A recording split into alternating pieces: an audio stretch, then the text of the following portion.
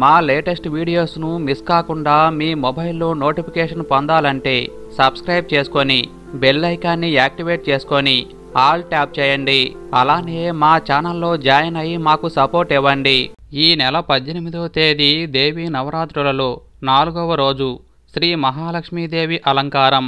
ఈ రోజు మీరు ఏం చేసినా చేయకపోయినా మీరు ఐదు రూపాయలతో ఈ ఒకటి కొని ఇంటికి తెచ్చుకుంటే అనంత సంపద కలిగేలా శ్రీ మహాలక్ష్మీదేవి దీవిస్తుంది. అంతేకాదు ఇలా ఈరోజు ఐదు రూపాయలతో ఈ ఒకటి కొని ఇంటికి తెచ్చుకుంటే నేరుగా మహాలక్ష్మీదేవి మన ఇంటికి వచ్చి అష్టైశ్వర్యాలను కురిపిస్తుంది. అలాంటి వారి ఇంట్లో దరిద్రాన్ని పోగొట్టి అష్టైశ్వర్యాలు కురిపిస్తుంది. వారి దశ తిరిగి తిరుగులేని రాజయోగం పడుతుంది. మరి అత్యంత పర్వదినమైన శ్రీ మహాలక్ష్మీదేవి అలంకారం రోజు ఐదు రూపాయలతో ఏం కొని ఇంటికి తెచ్చుకుంటే మన తలరాత మారి అష్టైశ్వర్యాలు కలుగుతాయో ఈ వీడియోలో తెలుసుకుందాం.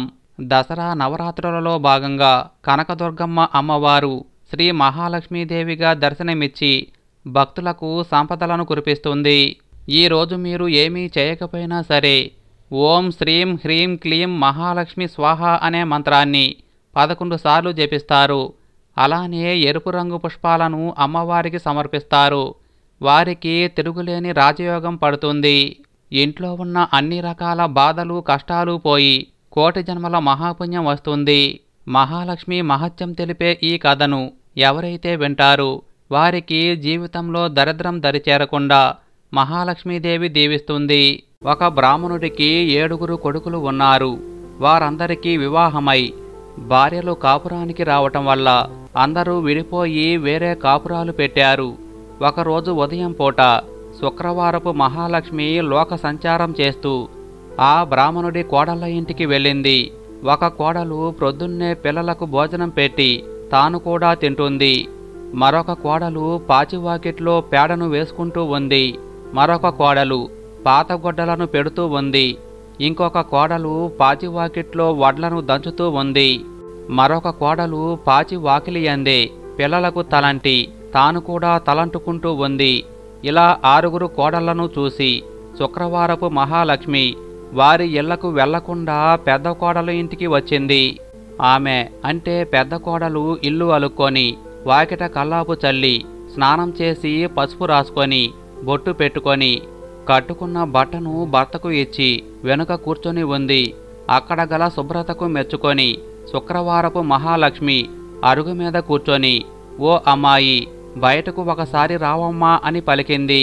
లోపల నుండి పెద్ద కోడలు ఇలా అంటుంది నేను రావటానికి వీలు లేదు. మేము చాలా పేదవాళ్ళం.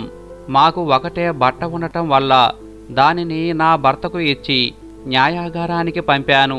వారు వచ్చే వరకు నేను ఇక్కడే ఉంటాను అని సమాధానం చెప్పింది. అప్పుడు శుక్రవారపు మహాలక్ష్మి తన బట్టలో సగం ఆమెకు కట్టబెట్టి తనకు సోలడు బియ్యం పెట్టమని చెప్పింది. దానికి ఆ పెద్ద కోడలు ఎంతో బాధపడి ఇలా అంటుంది నా భర్త వచ్చే వరకు బియ్యం ఉండవని సమాధానం చెప్పింది. అప్పుడు శుక్రవారపు మహాలక్ష్మి పెద్ద కోడలతో ఇలా పలికింది చూడు తల్లి శుక్రవారపు మహాలక్ష్మి మా ఇంటికి వచ్చింది. ఆమెకు సరుకులు కావాలని వర్తకుల వద్దకు వెళ్ళి కావలసినవి తెచ్చుకో అని చెప్పి ఆ బ్రాహ్మణశ్రీతో పలికింది.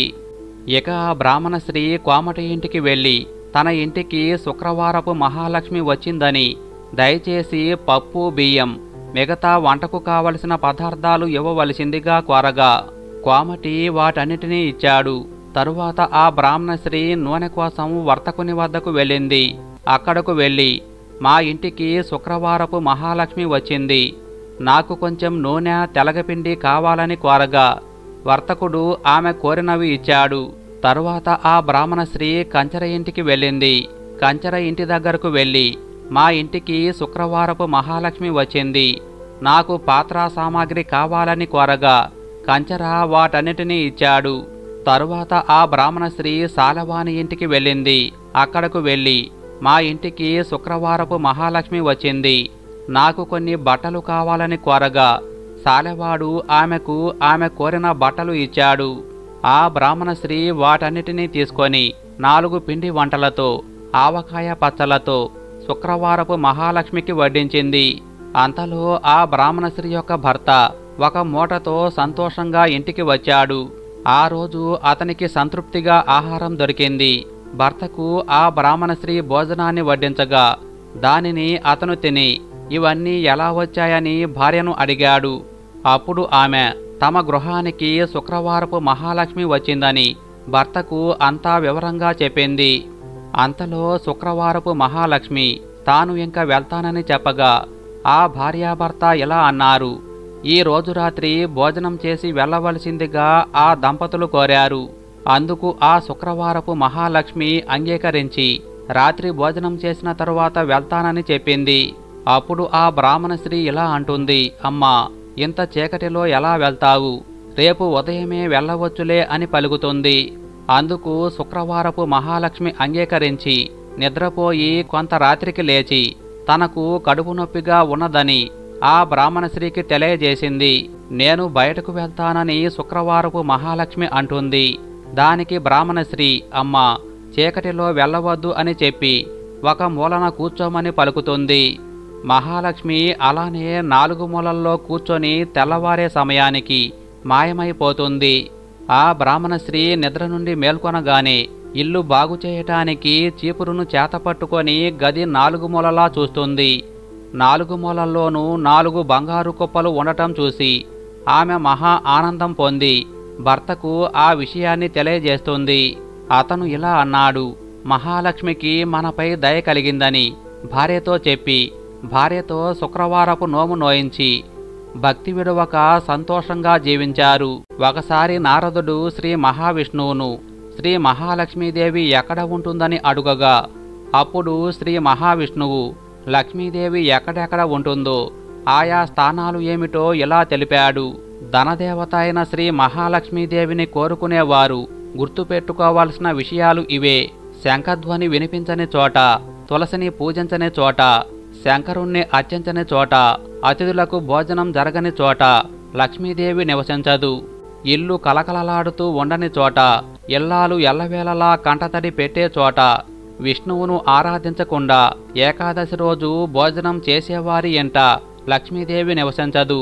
హృదయంలో పవిత్రత లోపించిన ఇతరులను హింసిస్తూ ఉన్న ఉత్తములను నిందించిన ఆ ఇంట్లో లక్ష్మీదేవి అస్సలు నివసించదు. భక్తులపై కోపం ప్రదర్శించే వారి ఇంట్లో లక్ష్మీదేవి ఉండదు.